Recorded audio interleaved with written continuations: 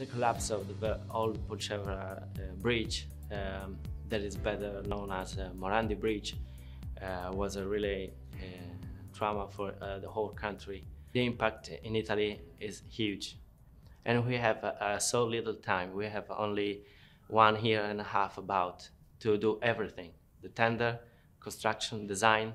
So it's very important for the region, for the whole country that we are on time. Our target was to get very fast design and build project.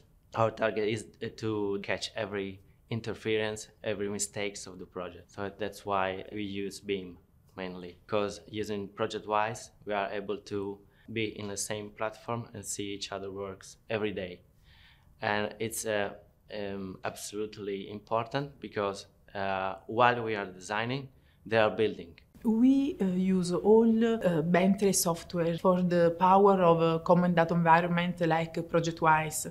And so to improve the collaboration, the work um, in real time among all engineering, all people involved in digital twin because uh, we can create a real-time virtual model, connect to the project model to analyze all the changes during the construction.